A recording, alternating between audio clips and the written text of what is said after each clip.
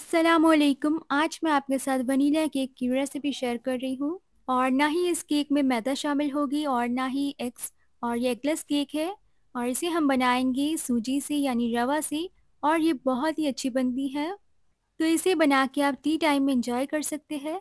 चले इस रेसिपी को करते हैं स्टार्ट यहाँ पे मैंने फोर टेबल स्पून ऑयल लिए है और ये ऑयल जो है वो फ्लेवरलेस होनी चाहिए।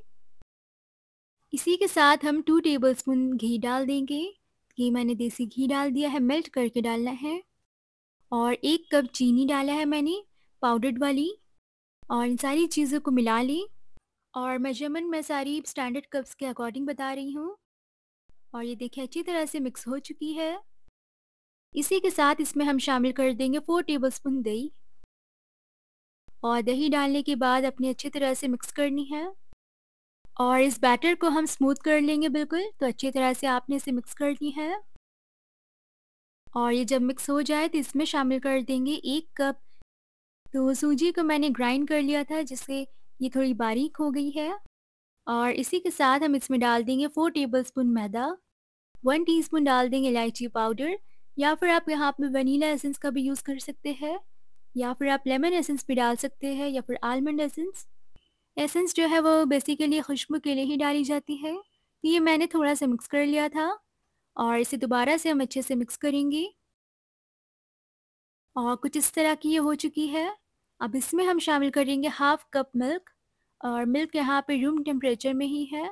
तो ध्यान रहे आपने गर्म या ठंडा दूध इसमें इस्तेमाल नहीं करना। तो पहले मैंने इसमें थोड़ा सा मिल्क ऐड किया था, उसके बाद बाकी का सारा डाल दिया।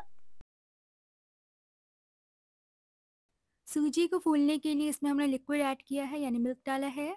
और सूजी जो है वो थोड़ी फूल जाएँगी। तो इस तरह से देखिए, मैंने अच्छी तरह से इसे मिक्स कर लिया है। और इसे हमने रेस्ट देना है 15 से 20 मिनट का, ताकि सूजी अच्छी तरह से फूल जाए।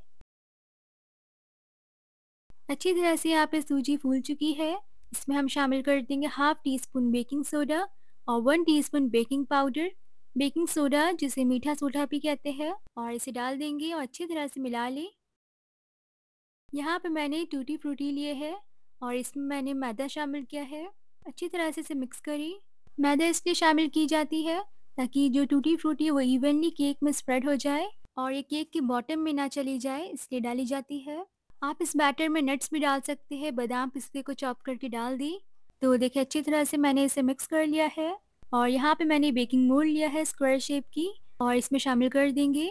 और बेकिंग पेपर भी मैंने लगा दिया है ताकि ये केक जो है वो स्टिक ना करे बॉटम में। और इसे हम बेक कर लेंगे 180 डिग्री सेल्सियस में 40 टू 45 मिनट्स ध्यान रहे कि आपने अवन को ज़रूर से प्री हीट करनी है 10 मिनट के लिए। और एक से दो बार आपने इसे थोड़ा टैप कर देना है। यहाँ पे हमारी बहुत ही मज़े की सूजी की केक रेडी हो चुकी है। और बेकिंग पेपर मैंने हटा दिए थे और इसे डीमोल्ड कर लिया था।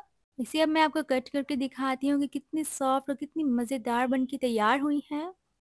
तो जिन लोगों को एक्स नहीं पसंद है तो वो इस तरह से एक्लेस सूजी केक बना सकते हैं।